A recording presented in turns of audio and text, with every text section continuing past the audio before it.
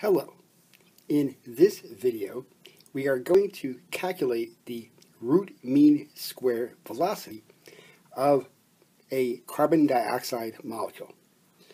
First, recall that the root mean squared velocity can be calculated as the square root of 3 RT divided by m, where R is the gas constant T is the thermodynamic temperature, and M is the molar mass. For carbon dioxide, which has the formula CO2, we know that it has one carbon atom, which has a mass of 12.01 atomic mass units. It also has two oxygen atoms, each one of which has a mass of 15 0.9994 atomic mass units. So we multiply that by 2, 31.9988. We have one carbon atom with a mass of 12.011. And if we add those together, we get a molar mass of 44.0098. And that's grams per mole. For later purposes, we are going to want to think of the molar mass in terms of kilograms per mole.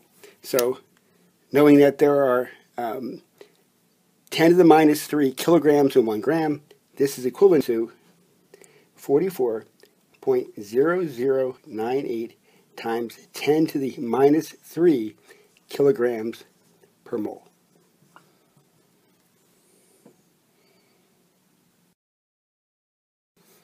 We choose a temperature of 25 degrees centigrade, which is equal to 298.15 Kelvin. And last but not least, we are going to need the gas constant R, and the form of the constant that we need is the form 8.3144 joules per Kelvin per mole.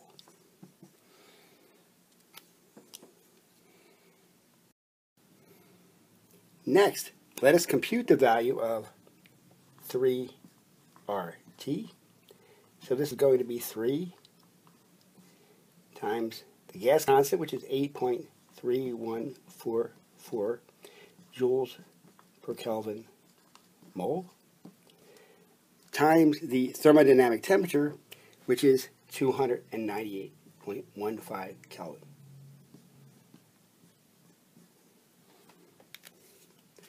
Once we have done that, we notice that the units of kelvins cancel.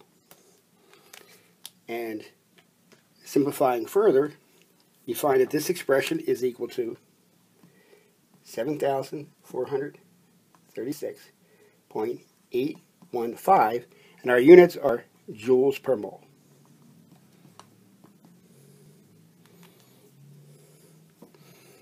Next, we want the value of the expression 3RT divided by M. Since we already have 3RT, what we need to do next is to divide this expression by the molar mass, which we've already computed, to be 44.0098 times 10 to the minus 3 kilograms per mole.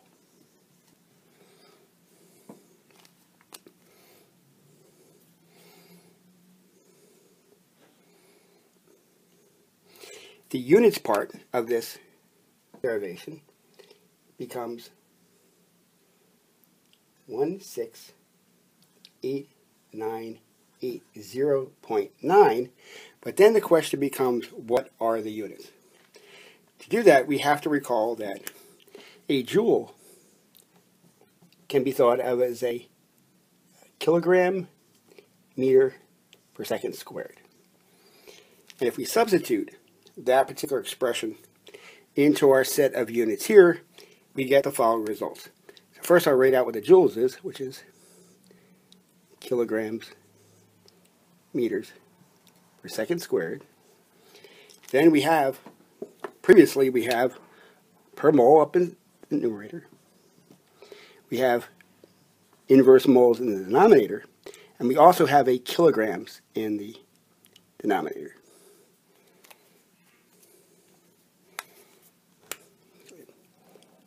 Meter squared per second squared. Noticing that, we notice that the inverse moles will cancel, and that the kilograms will cancel. And we're left with units of meters squared per second squared. You know, I erased part of it there.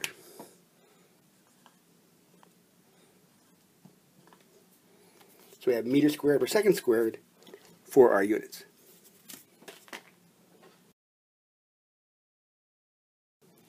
Our last step to find the root mean square speed is to take the square root of each of these expressions. And when we do that, we get a result of 411.07. And as far as units, the square root of meter squared per second squared is meters per second, which are excellent units for velocity. This tells us that the root mean square velocity of carbon dioxide at 298.15 kelvins is going to be 411.07 meters per second. I thank you for your attention. Have a good one.